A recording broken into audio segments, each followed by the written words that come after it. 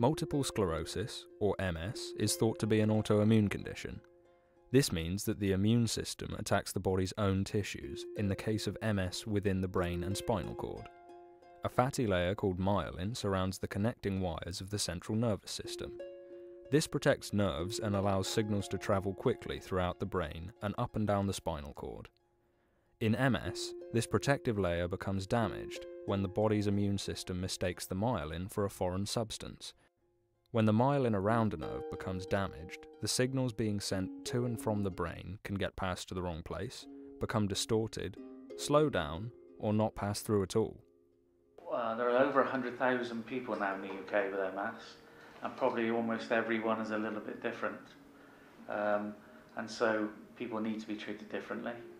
Um, some of the um, symptoms are um, inability to walk and loss of muscle power um, sensation loss, arms and legs and face, the whole body. Uh, hearing sometimes.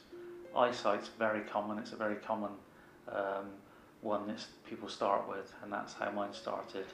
I lost the sight of my left eye, and um, things developed from there. Because I have MS, um, I obviously have a passion for helping other people. I've always been that way anyway, even before I worked here. My name is uh, Dr David Cottrell. I'm a consultant neurologist working at Frenchay Hospital, North Bristol Trust. I'm one of the consultants of an interest in multiple sclerosis who helped establish the BRAMS charity, the Bristol and Avon Multiple Sclerosis Charity, in 2008 with my colleagues. The charity has been very successful.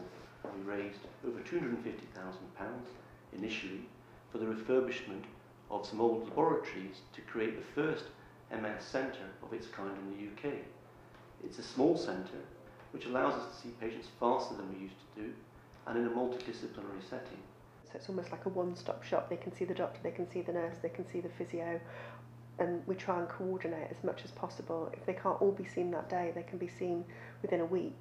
So otherwise they'd be waiting weeks and weeks and weeks for intervention, unfortunately, because of the way that sort of waiting times are. People had to con um, contact their GP GP had to write to the neurologist, the neurologist had to fit you in when they could. But now it's a lot simpler. People can usually ring up and get into the centre for treatment if they need it the same week. So it's made an awful lot of difference to people. It means that they don't have to stay in for days on end. They can go home the same day. So it's made a great difference, and I know that from my personal experience as well with MS. The BRAMS charity has two main aims.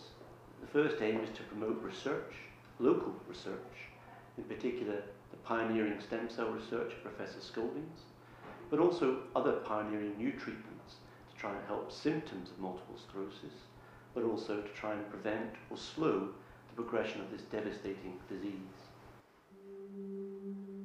Treating MS is only part of what the MS team accomplishes thanks to BRAMS.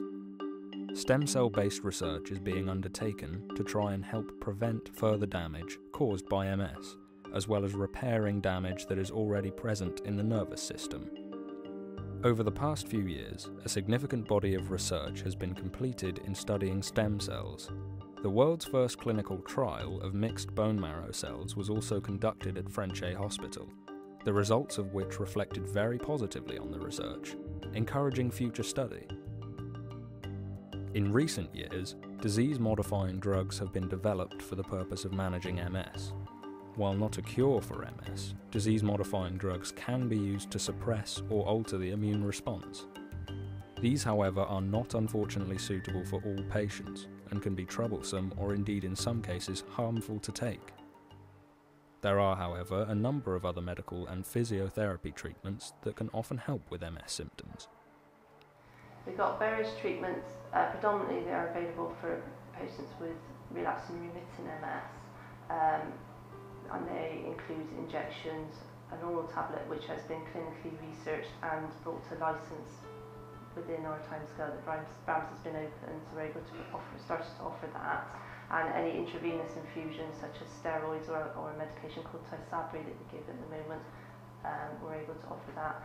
We um, I've got dedicated MS nurses that understand the condition really well and can speak to patients that have got all different types of symptoms and things. Um, and the physio that are able, is able to understand the needs physio-wise that the person might require.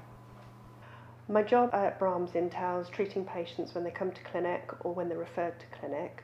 I would go through a full assessment looking at what the patient's needs are and then from that may um, provide a home exercise plan, um, sort of advice and information about the patient's problems so they understand what's going on with them, how they can make things better. I um, also would give them advice on returning to work or um, support at home. I do see newly diagnosed patients to actually see whether um, sort of as as their diagnosis has come, whether they've got any symptoms that they've been managing and whether we can improve what they're able to do. So quite often patients may find that their walking isn't quite as good as it was and we can try and improve it and look at their muscle power and looking at their balance and their coordination to actually improve their function.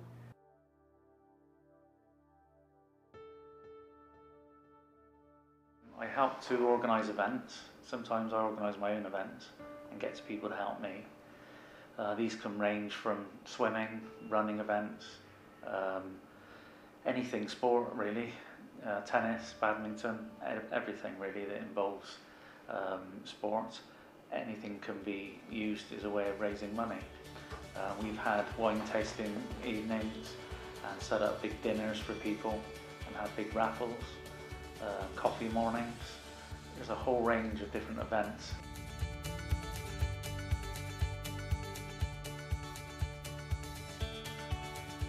People sometimes are too afraid to um, offer to raise funds because they think they're not raising enough.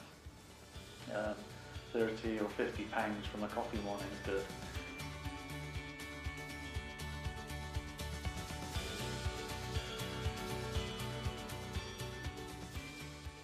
They all add up and as well as raising funds it makes more people aware of MS and might encourage the people who attended an event to organise one themselves. Um, We've got now we've got four MS specialist nurses. We never had that many at the beginning. Um, we got a physiotherapist, and we never had her then.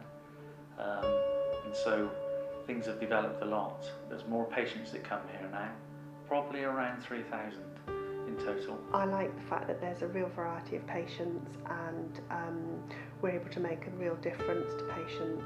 Quite often patients feel that um, they have to kind of continue with life as they are. And many times we're actually able to improve what they're able to do by improving their muscle power reducing compensations that they've had to try and function. They don't always need them. So by improving their balance their coordination um, recalibrating their vestibular system they're actually able to function at a much higher level and return to sort of activities in their life that they didn't think they were able to. So being part of that actually is a really good side of that we desperately want to keep our level of resources as they are, and if possible, even expand them further to help our patients.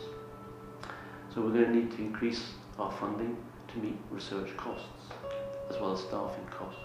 We actually carried out a survey um, about 18 months ago. Um, one of the doctors here carried out a survey, got a big group of the MS patients that come, and it was 99.9% positive. If you'd like to donate, or you want to get involved with one of the fundraising events, visit www.brams.org.uk and click Fundraising, or call 0117 340 6490. BRAMS. Providing treatments now, pioneering research for the future.